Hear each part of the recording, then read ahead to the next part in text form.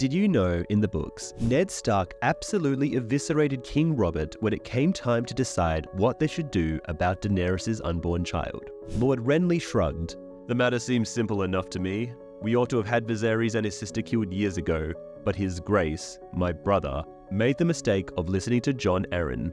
Mercy is never a mistake, Ned replied. On the Trident, Sir Barristan here cut down a dozen good men, Robert's friends and mine, when they brought him to us, grievously wounded and near death, Roose Bolton urged us to cut his throat. But your brother said, I will not kill a man for loyalty, nor for fighting well, and sent his own maester to tend Sir Barristan's wound.